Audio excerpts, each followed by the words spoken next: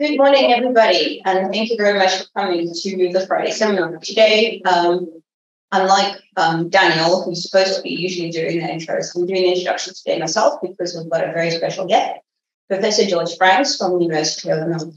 Um, George got his um, came here from the US, where he studied at MIT, and then at the University of um, Santa Barbara. Santa Barbara in California before coming to Australia to join um, Graeme Jameson University of Newcastle before finally moving over to the University of Melbourne.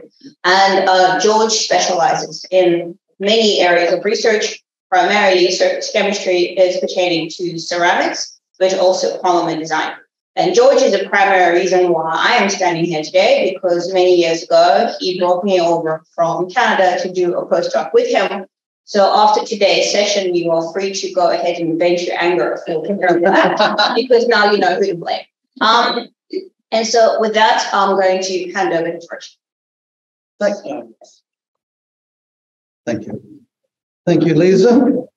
Hey, hopefully you can hear me. Yeah, thanks for inviting me to the, the um, Friday seminar series. It's a pleasure to be here. I had a, a nice day at um, St. Lucia yesterday to talk, talk with a number of, of, of people there as well as um, spending the day here. And what I'm going to talk about today is work uh, we've been doing through our ARC Center of Excellence for enabling eco-efficient beneficiation of minerals in um, how to improve fines flotation recovery by flocculation flotation.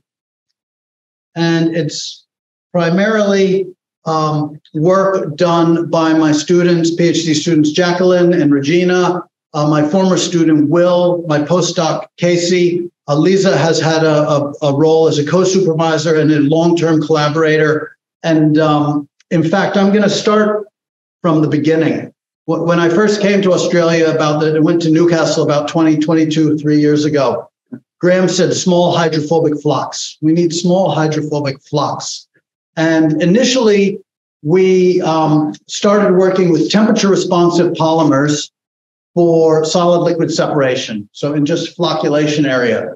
After a while, we realized that those bespoke polymers are a bit expensive and the need to change temperature is probably not going to make it economically attractive in solid liquid separation, but that we could add significant value by recovering more fine minerals, which might make it um, worthwhile.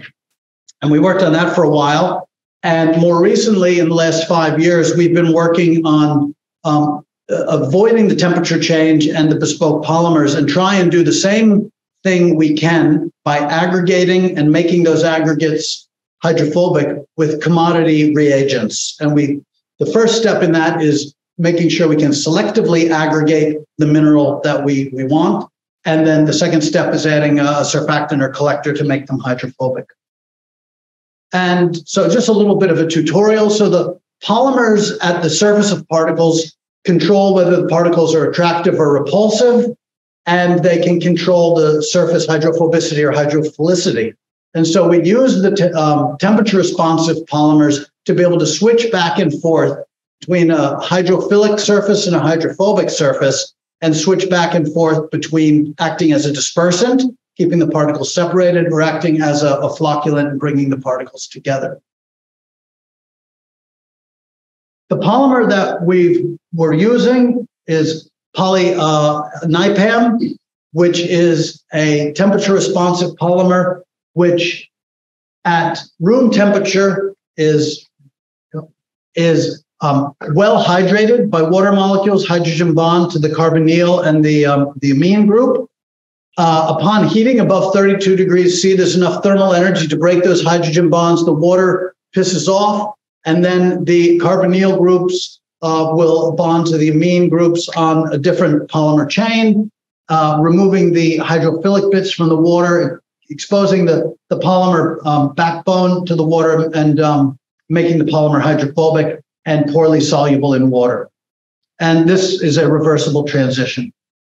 And so we can use it at, um, so in these sedimentation columns, Here's an example at 22 degrees where you can see nothing's happening.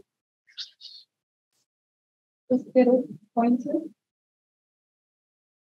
Pointers here. Yeah. Uh, this doesn't work as a point. Okay, it doesn't matter. Anyway, you can see it's, it's, it's, um, it's, it's aggregated at 50 degrees and settles rapidly. We, um, about 10 years ago, we, or, or mainly Lisa, I think, built this, this mini thickener where we could um, run as a continuous um, feed from the top, let the sediment form, and then we um, the over or the clarified water overflows.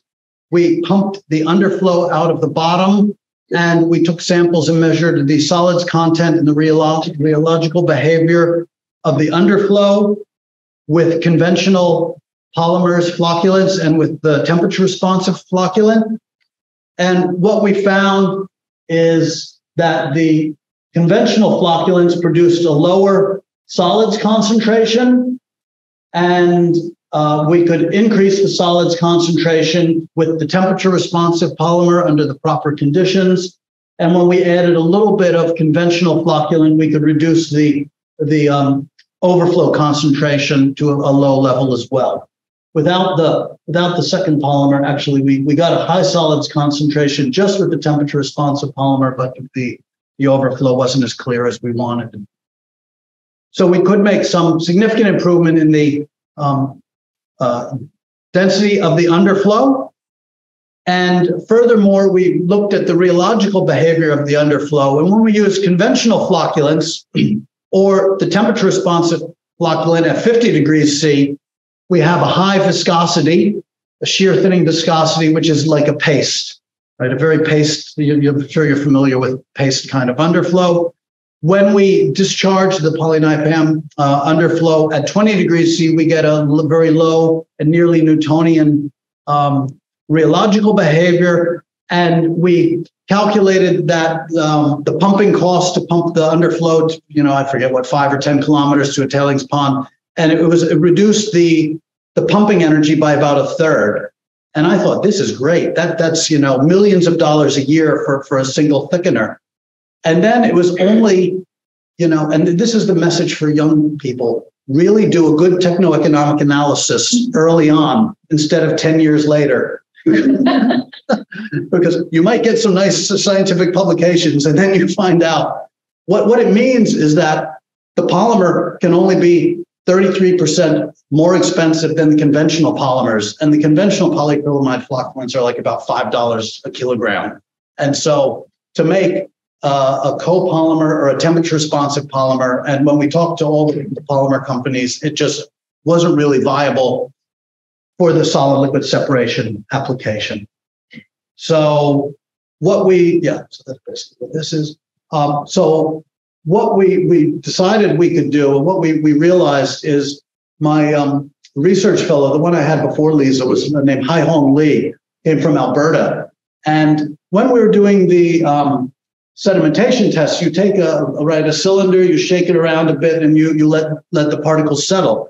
And I always noticed, oh, there's a bit of foam on the top and a few particles there. And I, I said, okay, I'm not going to worry about that because 99.9% of the particles are settling. And Haihong looked at that and he says, Oh, I think these particles are sticking to the air bubbles. We can use this as a flotation reagent.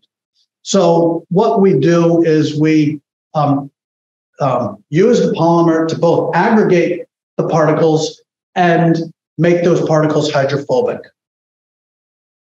So the aim is, um, I'm sure, as you all know, that um, Fine particles uh, flotation recovery is very low, below about you know 20 or 40 microns. Um, and, and, depending on the, you know, you can lose between 10 to 20 percent, or even um, in, in um, lithium, they're losing a lot more than this um, of the fine particles um, to tailings. And so, our aim is to to get a polymer, which, and, and in this case, we work with the temperature responsive polymers where we copolymerized them with something which made the polymer absorb selectively onto the valuable mineral, increase the temperature. Um, the polymer becomes hydrophobic, collapses onto the particle. There's hydrophobic attraction between the particles. They become an aggregate, and then those hydrophobic aggregates can be removed by, by froth flotation. And so, just some uh, contact angle measurements would show a droplet of water on a, on a, on a quartz surface with, um, that's been treated with the polymer. At room temperature, we have wetting. And at high temperature, we have um, increasing contact angle, and that increasing contact angle increases with polymer molecular weight, which is fine because, of course, we want a high molecular weight polymer to act as a flocculant anyway. And we had a student named um, Will Ng, about probably he's been finished for probably four years, so maybe he started eight years ago. And when Lisa was at CSIRO, he worked with, with Lisa and I at CSIRO. And he did two main projects. Um, one was separate, uh, separating hematite from quartz. We can also, I have a student now, I won't have time to talk about it today, but, but separating spodumene from quartz. And then we're also going to try to do something about feldspar, but it, it, doesn't look like it's easy to separate from spodumene at the moment. Um, and so what we do is we take our um, functionality, chemical functionality from the conventional um, collectors like sodium oleate to, to collect hematite, and we're going to graft that functionality onto the temperature responsive polymer. In the case of um, chalcopyrite, um, separating from quartz, Will took a xanthate functionality and grafted that onto the polynipam. Okay, in the first case, here's the, the polymer with about 16, uh, 15% acrylic acid with the polynipam. Um, we got an ore from Vale, about 56% hematite. The average particle size was about uh, 40 to 50 microns. And I'm not going to show the um, the chemistry, the, the iron analysis is in the, the papers, but you can see with the anionic polynipam, the floats were dark red, the tails were looked like sand. Um, when we used sodium oleate for this finer size, we had a, a less efficient separation such that the um, the tailings contained more hematite and the the grade of the um, flotation product was not as good. The second polymer that Will used was a, um, a xanthate functional polynipam. And here we had uh, Northparkes um, copper ore with about 0.67 copper. And here's the um, flotation in a flotation column. He did work in a mechanical cell and he went up to work with Graeme and um, and Lon Cooper in, in Newcastle to, I guess, down to Newcastle from here but up from Melbourne anyway, to work with a column cell and just the froth. And again, the tails were, were lighter than the floats. Okay, here's the, the grade recovery curve. Um, so with no collector, uh, here's the point with the PAX. Okay, we had a, a curve over here. And when we added the temperature responsive polymer, the, the way we usually add it is at room temperature, let it absorb and then increase the temperature. But we also thought that um, that in temperature increase is uh, difficult and costly, right, to implement in industry. And that if the stuff heats up during milling, we just add the polymer after it's already at a high temperature and we'll see if it works. And in fact, when we add it at 50 degrees and then float at 50 degrees, we get even higher grades. Okay, and um, I, I, think there were some. Well, well, Will had some hypothesis about desliming was was was helping with that. So anyway, um, we are able to improve both the grade and the recovery by the flocculation flotation. Yeah, sorry, I forgot to mention this is the minus 20 micron fraction where we saw the the biggest improvement with the polymer. Of course, the the coarser size, the um, conventional PAX was, was working pretty well. So we did a, a techno-economic analysis on this, um, not 10 years later, but maybe a couple of years later anyway. And, um, you know, depending on the commodity and the size of the mine, it's, it's um, easy to justify 10 to 50 million dollars um, additional profit. Um, for a single mine. The, it depends on the, the feed grade and especially the current recovery. I mean, if the current recovery is already 92 or 95%, there's not much more to get. If the current recovery is in the, the 70s to, to, to 80, then, then there's a lot more profit to get. The cost of the polymer is, is really important, and the cost of the polymer should be pretty low, around $10 per kilogram. And also, the need to change the temperature is costly and, and difficult.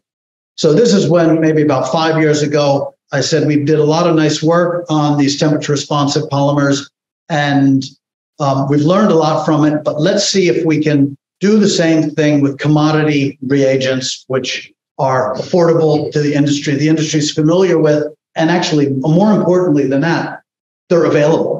I mean, we, we went to, um, I talked to BASF about polynipam, and they said, Do you know how much monomer there is in the world? I said, I don't know. They said, There's not enough, not even enough to make a tenth of what we would need. And then I was about to say, Oh, well, you can produce the monomer. And then, you know, but you're, that's not their business. I mean, so, um, so yeah, we started trying commodity reagents.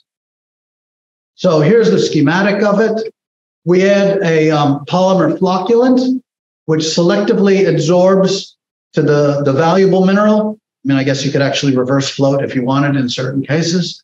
Um, that flocculation, um, that, that flocculates selectively the valuable mineral. And I'm drawing the perfect situation here. Of course, there's likely to be some entrapment, and, and we, we will recognize we have to work on avoiding entrapment. We then add a collector, which selectively absorbs now onto the, the valuable mineral, makes those flocs hydrophobic, and then we can float them and recover them. So yeah, we use the um, anion-icity and cationicity of the conventional polyacrylamide flocculants to impart selectivity to charged minerals, and then we add the um, selective collector. The systems we've been looking at is Jacqueline's been looking at hematite separation from quartz, and she's just um, in, finished her second year of her PhD. Regina is looking at um, separating um, chalcopyrite from first quartz, and maybe we'll, we'll work on pyrite eventually. Um, she's just a year into a PhD, and Danny is working on separating spodumene from from quartz, and then uh, eventually, hopefully, feldspar. She's about six months into her PhD. So the general approach is first to take the individual minerals and um, selectively flocculate them, find out which polymer will flocculate one but not the other at the same dose and can pH and such like. Then make a mixture, selectively aggregate and separate them. And we try to separate them first by sedimentation and take the sediment and, and um, do the chemical analysis on that versus okay. the supernatant. And then finally, uh, we'll try some aggregate flotation. So Jacqueline's working with ultrafine, about one to two micron hematite and quartz. Um, we use the conventional polyacrylamide flocculants, about four to, to 10 megadaltons. We have a, a range of anionic um, flocculants from, from Scitech. We have a range of cationic flocculants. Um, I think these are from SNF. And we can see, we can, um, anyway, flocculate um, hematite with an anionic polymer. Maybe I should just.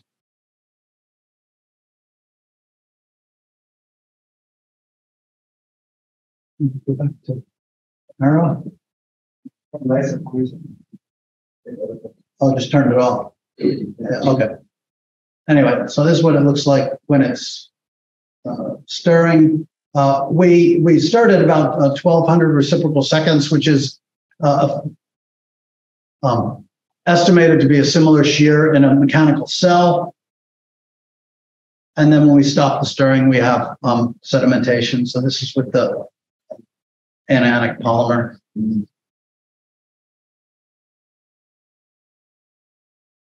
So we take the individual minerals and with our quartz, we use a cationic polymer and we've investigated the role of polymer charge. The higher charge, the lower dose we need to make a, um, a clear supernatant. So this is the turbidity as a function of dose. When the turbidity is low, means the aggregates have settled within the, whatever it is, two or three minutes that this was taken. Um, similar trend with the hematite, positively charged hematite, well, or nearly neutral hematite. There's some positive charges on it, and the anionic polymer absorbs.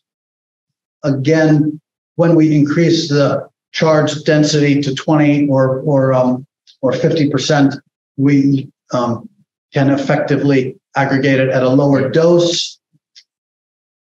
We um, so here are the zeta potentials, the hematite and the silica, and initially we thought we could do it at you know at a low pH, like pH five, when then we could have very clear separation.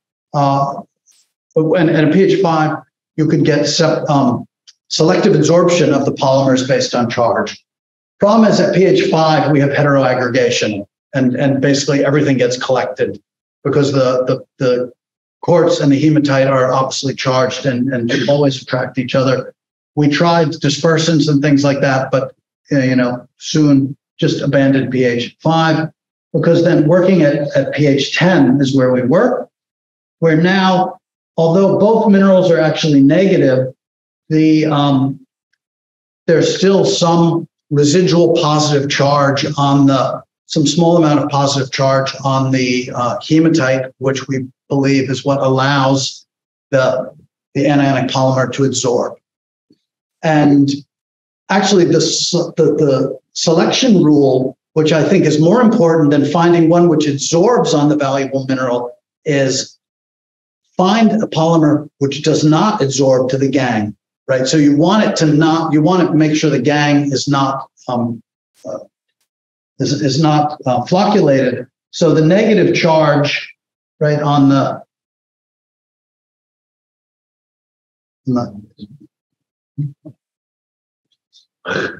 um, right on the quartz and the negative charge of the anionic polyacrylamide prevents it from absorbing. Okay, and so here are some adsorption isotherms uh, of the, the hematite in red and the quartz uh, in the, the gray of the anionic polymer onto the mineral surfaces. We can see we have much stronger adsorption onto the hematite and very little absorption onto the quartz as we want. Uh, we see also a trend in the, the, um, the polymer charge. When we take the same dose, uh, the optimal dose, which is around 150 to 300 grams per ton of the polymer, uh, and we take that anionic polymer and dose it into quartz, we find that there's um, very little sedimentation. The the um, the supernatant um, turbidity instead of being, you know, like this in the the below a thousand or a hundred is up in the the maximum of the the, the turbidity unit we have is uh, seven and a half thousand. We uh, received a um, in situ particle size imaging and sizing probe from BlazeMetrics. It's um, has a has a laser which makes a, a nanosecond flash that takes a picture. Then the the pictures are um, interrogated by image processing to get the chord length distribution. So it goes across the picture and says, this is black, this is black, now it's white, now it's white, now it's black, and gets the chord length distributions. So I'm going to report chord length distributions, although I'll call them a size. Okay, it's not, it's not a actual size. Uh, you can convert the chord length distribution to a size if you want. Um, but what, and in any case, you can see at the optimum doses for the, for the three different polymers, we get large aggregates. Right, the aggregation is on order of you know between 70 to to uh, around 150 microns. Uh, when we um, put the probe in the, the quartz suspensions, we, we don't see any aggregation, either with or without the polymers. Uh, there's a small aggregation, right, for some of the polymers. So the particle size is coming up to the average chord length, maybe about, you know, um, 20 or 30 microns. But compared to with the hematite, where we can get again between 70 to about 150 microns on average, um, chord length distribution. So we can selectively flocculate um, as, as individuals, the, the, the hematite, but not the quartz. We have some information about how the size depends on the dose. The um, solid lines are the 20%, the 60%, and the 6% polymer. The dash line below, so that's after five minutes of conditioning. After 10 minutes of conditioning, the aggregate size breaks down, as shown by the, the dashed lines below. But they're still sort of in a range where uh, we feel they could be um, collected by, by um, flotation or attached well to bubbles.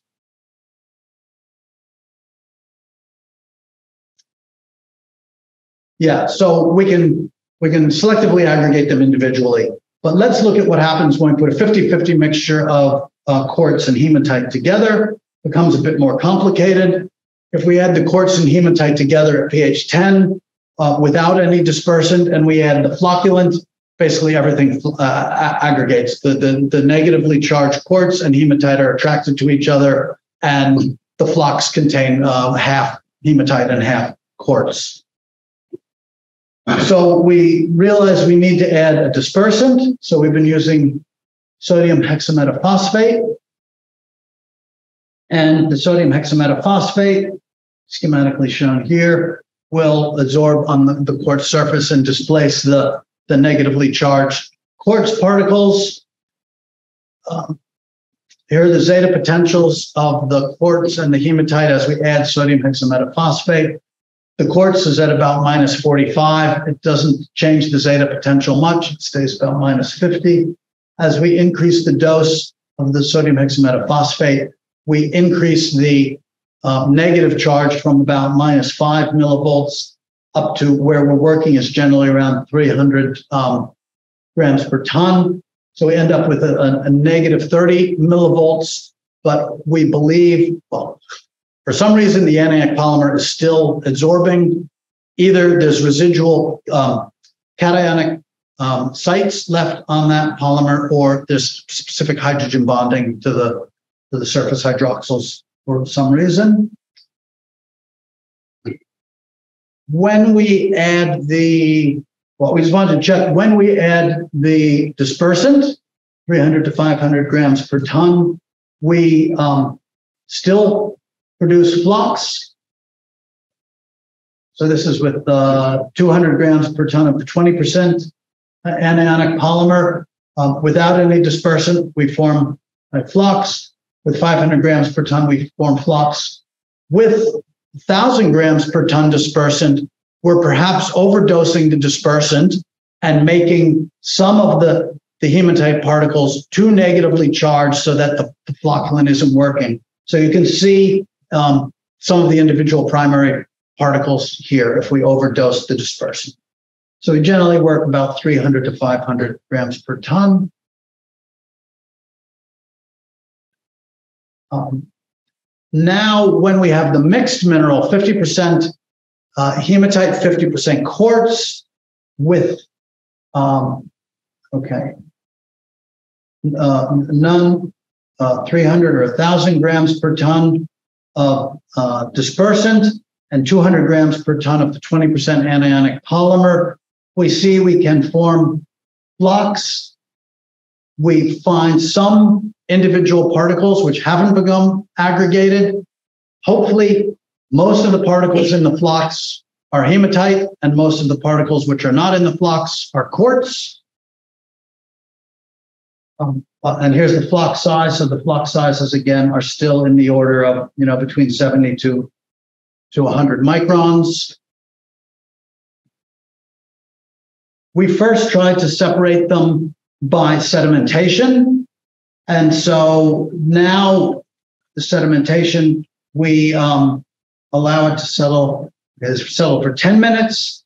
Um, you can see the most of the hematite is on the bottom. The, the, the, the supernatant is more um, white, so it's quartz. If we don't add any dispersant, basically everything settles. The, the grade of the sediment is 50% hematite, 50% silica.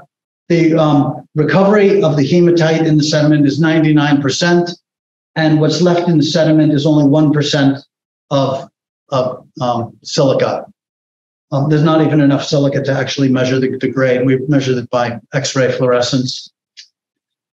When we increase the dispersant concentration, we increase the, the grade of the sediment up to 55 and 56%.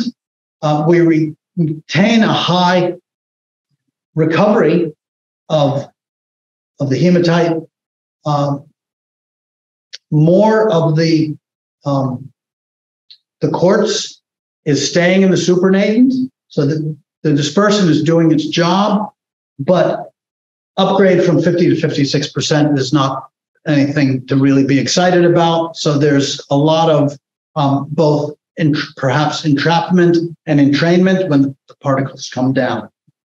And at first, I was, oh, we should do this better. We, we should really show we can separate this. And then I finally realized I told the students, no, this is great because then it justifies why we have to float these flocs to separate to get a better separation.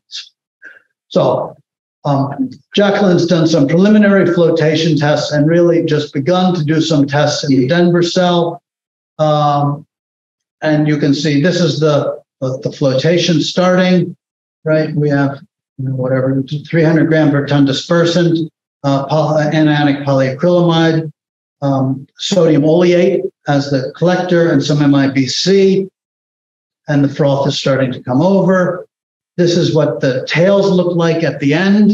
So you can see there's more white, mainly quartz there. Here's the, the um, right, the froth collected. Here's the tails. And so the grade recovery is looking pretty good. Um, okay, so increasing after about eight minutes, we've recovered uh, about 98.5% of the hematite. Um, the grade increases for a while, and then as we start, you know, going later and later, the grade goes down, and we're, we're recovering a bit more quartz. The cumulative grade now is about 62% um, at Fe2O3, not 62% iron um, which is anyway an upgrade from the 50-50. And these are really just early days. The um, flotation um, conditions and, and the reagent um, doses haven't been optimized, but we're we're optimistic that you know you, you at least the PhD will sort of work to some extent. Uh, the second student, Regina, is um, working on separating chalcopyrite from quartz. They're about like five to six microns in size. Again, she's using PAX as the collector, um, anionic and cationic flocculants. At pH 9, the chalcopyrite is about negative 20 millivolts, and the, the quartz is about minus 45 millivolts. The cationic flocculant will aggregate both the chalcopyrite and the quartz. There's a bit of, of haziness in the quartz. It's um, not a perfect flocculation, but it does flocculate both. The anionic polymer will um, aggregate only the chalcopyrite, but not the quartz. And that's why I said again, what we're sort of looking for is the polymer, which does not aggregate the one that you don't want to float. And what we, just tried it. We tried to, but we still don't really know why does, does anyone know why is anionic polymer flocculate negatively charged chalcopyrite? What's the bonding? Does anybody tell me how it's, how it's binding? Anyway, so that's something else for, for Regina to do in her thesis. Um, uh, yeah, so that's confirmed by the turbidity. If we had no polymer to the chalcopyrite, it's a very turbid supernatant as we um, add the polymer, the higher molecular weight polymer produces clear supernatant. Uh, with the quartz, we have high turbidity and no settling um, with, with any of the anionic polymers. Um, the absorption isotherms confirm that the anionic polymer does absorb more to the chalcopyrite than the quartz. The cationic polymer absorbs to both of them um, almost similarly. So the anionic polymer is giving us good selectivity between the chalcopyrite and the quartz. again, Regina is a little bit farther behind, but she's done some uh, uh, particle um, uh, aggregate size analysis with the Institute probe. The, the, the, particles before aggregation show about a 20 micron um, size. The probe actually um, uh, doesn't have a good enough resolution to measure the the actual. We know by light scattering the particles are about five or six microns. The probe uh, actually anything that's less than about 10 microns it reports about 20 microns. So um, probe is not perfect, but it's clear that after we add um, the anionic polymer, the chalcopyrite particles are aggregated. You can see by the pictures, and the chord length distribution is giving you about 100 microns in size. Then just adsorption isotherm of um, uh, uh, PAX onto chalcopyrite, but doesn't absorb onto quartz. Um, preliminary um, captive bubble contact angle measurements show that the, the PAX increases the contact angle on the chalcopyrite, which is no surprise to anyone. And again, a very preliminary um, flotation um, with the, the anionic uh, polymer flocculating the chalcopyrite. Uh, PAX is a collector, MIBC. She only collected the froth for one minute. And um, so the, the overall recovery was low, only about 32% of the chalcopyrite. But from that first concentrate, the, the grade was 31% copper, which is about 90% chalcopyrite, okay, 10% quartz. And again, being um, just the end of her first year of PhD, I'm happy with the progress and looking promising. And we can um, try to optimize it. And with that, I'm just going to finish and say, so we're, I, think we're making good progress. We can um, use the temperature responsive polymers to selectively flocculate and, and float minerals. Uh, it's probably a bit expensive. We can selectively flocculate hematite from quartz as individual minerals. We can selectively flocculate chalcopyrite from quartz as individual minerals. We often do need a dispersant and or very carefully control the pH. It's not going to work at every pH and, and uh, concentration. Um, we impart the selectivity by the charge on the commercial um, polyacrylamide flocculants. We can do some separation by sedimentation, but um, you know, just doing some preliminary results show why there's a lot of entrapment and entrainment. And, you know, of course, I'm aware that um, people have been selectively flocculating hematite from quartz for 30 or 40 years and really never implemented it in, in, in, in many mines because the right it's, it's not that effective of a separation. Um, we can add the surfactant to, to make the aggregates hydrophobic and they can be recovered in a mechanical cell.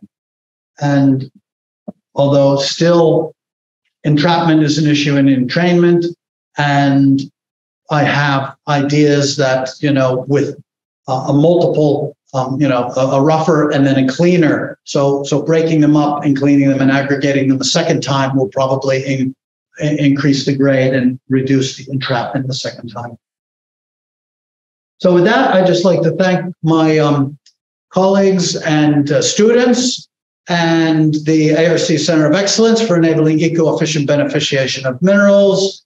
Um, uh, Danny's project is with the Future Battery Industry CRC, and thank Solvay and SNF for the polymers. And with that, I think we have 15 minutes or so for questions. Thank you. Thanks, George. So open the floor to any questions there.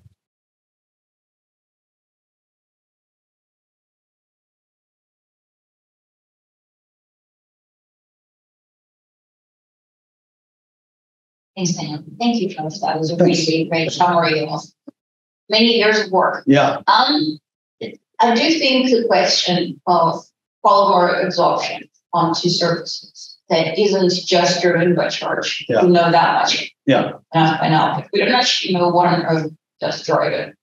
And with that, we don't actually have a very good handle on the sensitivity of anything towards oxide minerals, where we are primarily looking at charge with no charges and everything. Do you think what are the next frontiers on designing actually selectively absorbent polymers, for instance. We've done that before. Sulfides to a great degree. What about? Well, there's a, a couple of um, things which are that we we could work with ab initio modeling and try and understand what types of chemical functionality will absorb onto different mineral surfaces.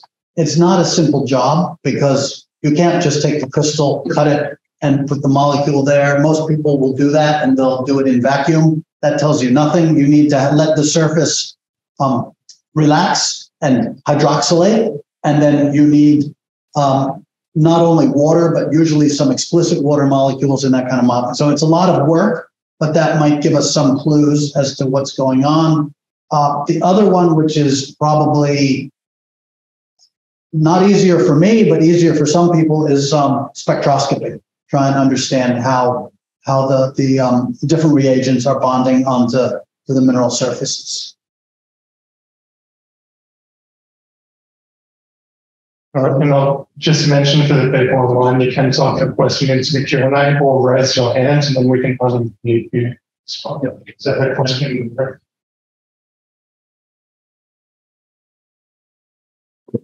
Thanks, George. Um, is there not a concern that the mechanical flotation cell will break the plant cell? We talked about doing something like the column cell, it's more Yeah. nice to do that. There, there is a concern, and um, so one of the things uh, Regina is going to be doing is looking at the aggregate size at different shear rates, at high and low shear, and see what types of aggregates can survive in high shear rates. Actually, the supposed average um, shear rate in a mechanical cell of around 1,000 to 1,200 reciprocal seconds in an industrial cell is what we use when we make the aggregates. In a, we believe in our lab scale Denver cell, the shear is much higher. We, we haven't stuck the probe in there, but we're pretty sure the aggregates are smaller and broken down. And, but they're still large enough to be, to be floated. And so you're absolutely right. We, we want to understand what, um, which kind of aggregates can survive in different shear environments. And Will did work both in the mechanical cell and in a column. And we thought the column would produce a, um, a better result, but it was actually not that much different. So it will depend on, and as you start um, trying to reduce the amount of polymer, which will reduce the cost, right? To, to get then the flocs will become easier to break up and things like that. And then there will be some limit where you'll have aggregates which are not strong enough to survive. All right, we had a question from online from Mohammed. So what is your expectations regarding other gangue involves? Oh. I try the easiest thing first. yeah, separating the pyrite. Okay, I, I'm I'm not an expert in flotation. First off, I, I learned everything I know from Lisa in the last ten or fifteen years, and um, so I don't really know a lot about E EHP. I don't know about you know activation very much about you know other um, ions which dissolve off the surface and reprecipitate out. So there will be at first we want to demonstrate the concept is viable and then there will be a lot of work to find the right chemistry which will produce a chalcopyrite aggregate but but not aggregate pyrite. And in our um, work with spodumene feldspar and quartz it looks like the preliminary work says you know we can selectively aggregate spodumene but not quartz. The feldspar is somewhere in between but it's much more like the spodumene. So the, probably separating the feldspar from, from the spodumene is, is more challenging. Thank you. And more from online from measurements. So how would you disperse the flocs between the rough and clean stages to minimize it? Trapping in the final concentrate, and would you need pH conditioning 10 or 2 between the roughers and cleaners? Yeah, between the roughers and cleaners, either just shear the heck out of them to break them up. And then, you know, we probably have to add more flocculant because usually uh, with the temperature responsive, polymers, we always thought flocculate them, cool them down, that'll disperse them and then heat them up again a second time. So, I mean, I think in the case um, when we're using conventional reagents, we'll just have to shear them at high shear to break them up and then, then aggregate them again. Any more questions in the room? Uh, this one, the one. Thank you, Professor, for inspiring talk. Thank you. Um, the focus a lot on temperature responsive polymers. And my question is how about the pH responsive polymers? Ah, we did way back when I did one with um, pH. I mean, it works as well. Yeah, you can change the um, uh, with charge, particularly um, we use, for example, chitosan, which is biopolymer. Uh, at low pH, it's positively charged, and then above pH seven or eight, it becomes neutral and hydrophobic. And you can do it with pH, but I did very early on some preliminary techno-economic analysis, and I just said no mineral processing uh, industry wants to put a, a truck full of, of acid in and then a truck full of base and shift the pH back and forth. That that was my, you know, there's probably some operation where they're already changing the pH or something for one reason or another where it might be useful. And same thing, there might be some operations where the temperature change is inherent in the system. Um, but you know, the, the industry doesn't want to solve exactly this one problem. They want one magic reagent you put in and it, it does everything for every, right? So um, there, there probably are some cases where you can use the pH responsive one and um, it, it, it, does work, but so sorry, we only did that for um, sedimentation and separation. We never used the pH responsive one for, for flotation. So maybe we could go back to that, yeah, and, and use something like a chitosan, um, which will make the, the flocs hydrophobic at higher pH after, at first aggregating them at lower pH. Um, I judge it was a very good presentation. Thank you. It's not a question, but I just want to contribute. When I used to work in copper flotation plant, we had a very huge um, froth monsters in cleaning circuit. And we decided to recirculate concentrated overflow water directly to the cleaner circuit. And in that case, we used to uh, grind under 20 micron, and we have very, very fine material. And we saw that that froth monsters, we could deal, I mean, that froth monsters become much more controllable. And we saw some recovery increase in cleaner circuit as well. But the concept was very unusual at that time, so we couldn't continue for a very long time. And I'm not sure if the thickener overflow contains enough flow. I'm not very sure. But I think that I think this also helps for the froth uh, controlling the froth size that you need to, uh, I mean, for, for, for industrial scale that you can control your froth for overfrothing and also that you can recover very, very fine material. But it is very hard to So You're, so using the flocculant to aggregate the particles so the froth is not too stable. Uh, that, that could be. I mean, before froth was overfrothing, but yeah. after that thing, because I think we got rid of a bit of very fine material. Yeah. So we could able to uh, control the froth much better than yeah. before. So I found it very helpful, but it was also because your operation must be very stable to control everything in that stage. So it is hard to measure industrial scale, but I found it very useful yeah. at that time. So I think this concept yeah. would be very yeah. nice. You're right. Some flocculant is probably coming from the thickener overflow back. Um, but um, I would think there's a lot of flocculant would go with the underflow with the yeah. particles. So it's a partitions between the two. I don't know what was the level yeah. concentration at that point. Yeah. Uh, Thank you. Follow up from that, the, the whole concept of froth stabilization by particles really, really complex, where you have to look at the interplay between size, shape factors, and hydrophobicity.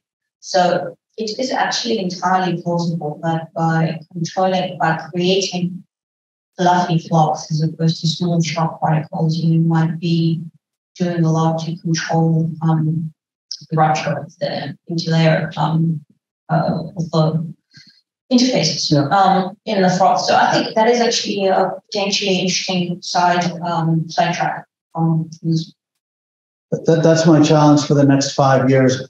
Understand frothing. Just move back to some of the online questions now. So I have a question from Tony. Would we need to pre-classify the ultrafines from existing flotation cells to apply these new techniques? Uh, yes. Yeah. The techno-economic analysis says that um, the most economically viable is to um, deslime at the beginning and treat the slimes as a separate stream and let the majority of the um, stream go through the conventional process. The other option is taking the tailings from the conventional process um, and then doing a hydrocyclone cut there and then just process the um, the slimes of the tailings, uh, but it ends up being more costly because you end up putting more material of a lower grade through the, the fine flow of through our new process. Okay, and then one more online from uh, my husband.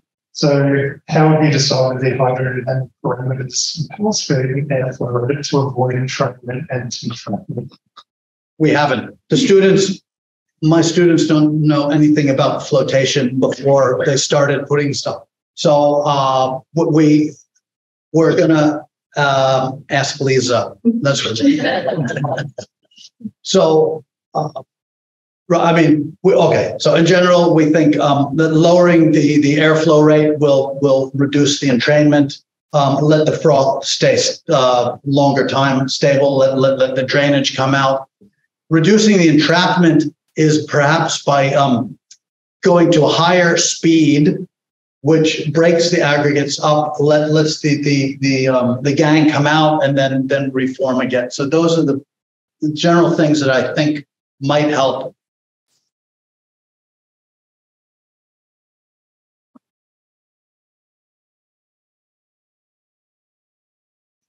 Uh, thanks for a very interesting presentation, George. Um, maybe one other thing to consider for entrainment is um, potentially looking at froth washing as a way of um, Yeah.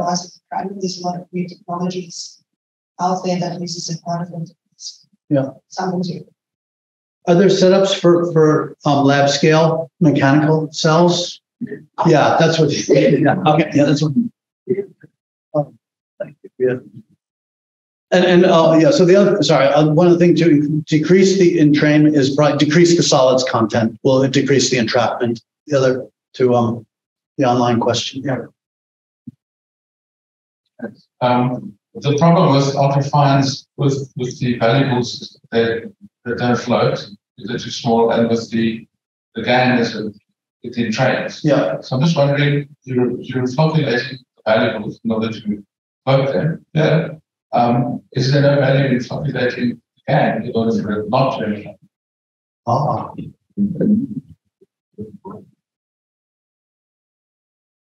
Yeah, oh, selectively flocculating both in the same, at the same time.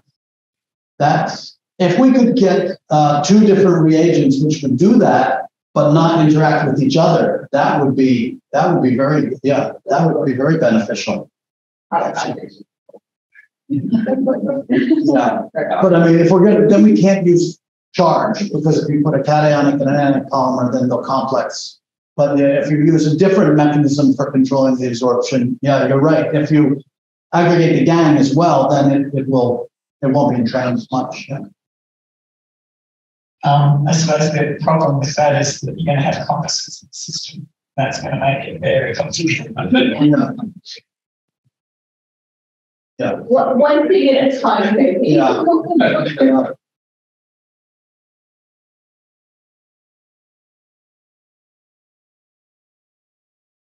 George, very much. This is not my field, but I understood you could talk, so it's a very compliment. Thank you, thank you.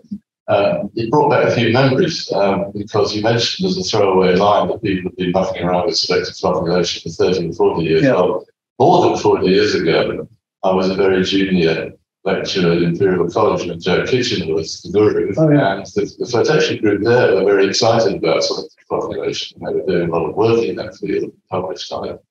Uh, and I think that was for, as you talked about in your talk, it was more for separation by sedimentation than by flotation. I just wondered if all that body of work has any relevance to what we're doing today. Um, I mean, we, we look at it and it's, it's, it's, it's, it's helpful to understand some, yeah, it is helpful somewhat. But you're right, it, it, industrially, it didn't really go anywhere. Yeah. I just wonder why that was, do you know? Ah, well, the easy answer is it, it didn't produce any profit.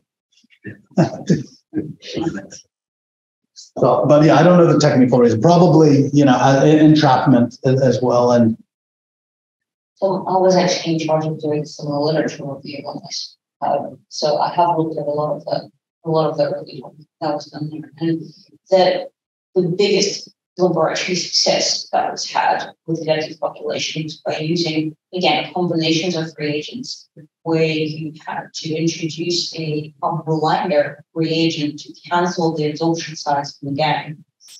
And then introduce a more longer, so that would be a shorter chain blinder, and then a longer chain actual flocculant to go and try and flocculate the, the stuff that you were targeting.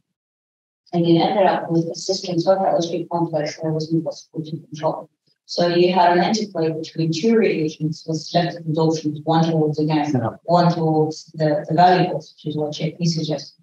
And all of that coupled with the fact that all of that is a function of shear. So you have to control shear, which controls the aggregate size and growth, but also has an effect on the absorption rates and the kinetics in the system. And it was just a big mess. And I, I mean, I, I wouldn't be surprised if our work ends up being a big mess, which doesn't, doesn't actually get implemented, you know, universally as well, but it's science. We're making science. Um, I think the reason why I think we have a better chance of success is that compared to now compared to 40 years ago, the issue of trying to deal with very, very fine material is a hell of a lot more pressing than it was. then. Yeah. Therefore, there is a lot more appetite to have this succeed and therefore we can count on a greater amount of resources involved in the industry to solve the problem. Yeah, and, and the, um, societal pressure to, um, produce less waste and to, to recover more is, you know, is quite different these days.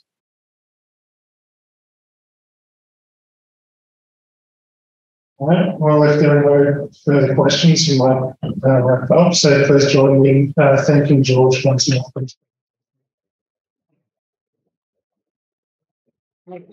Thanks for coming today and I look forward to talking to you all later. And thanks for everyone who came online. Much appreciated.